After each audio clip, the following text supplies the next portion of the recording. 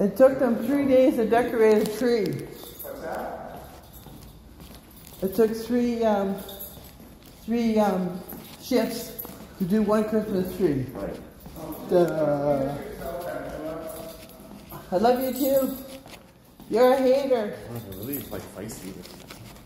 I know. Very feisty. That's what I gotta put up with. Yeah, like would be that lippy with you with me here is uh not a good sign. You know what I mean? Yeah. Yeah. So I can take you to court. Yeah. The reason why he's doing that towards me? Yeah, you know why. Yeah. He's yeah. sexist. yeah, that was weird. And he's also Who's, racist. who was the guy in the suit?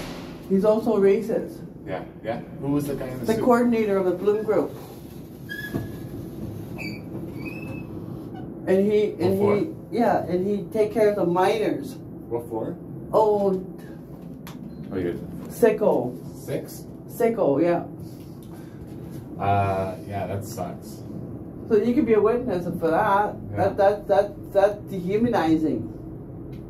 Yeah, I would say like you're saying you're having a mental health there's some mental health issues right now. Because right? of him. And so you walked by there and you said something and then he antagonized the situation further. Yeah. Where if you're in a place like this with um folks Multiple disabilities, Yeah. yeah.